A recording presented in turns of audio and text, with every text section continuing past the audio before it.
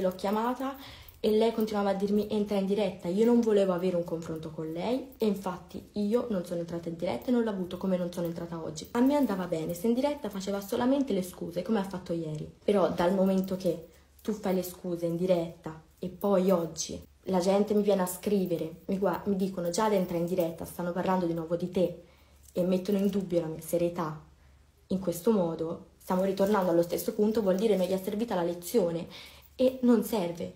Io mi trovo costretta a fare questa diretta perché non ce la sto facendo più. Sono mm, non incazzata, ma proprio ho questa rabbia verso di lei per come si è comportata, che non mi meritavo questo comportamento da parte sua, immaturo e infantile e sta continuando. E io non voglio avere nessun confronto con lei, non merita aver confronti.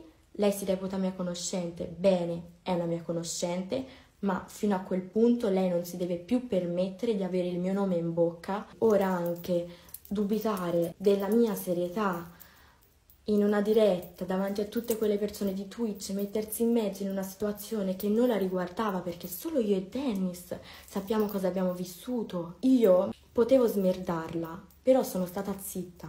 Sono stata zitta e ci sono tante cose che voi non sapete che io non dirò perché io non voglio smerdare nessuno, mi reputo superiore a lei e io penso ragazzi che questa situazione deve essere chiusa, tanto torna tutto, torna tutto, torna tutta la cattiveria.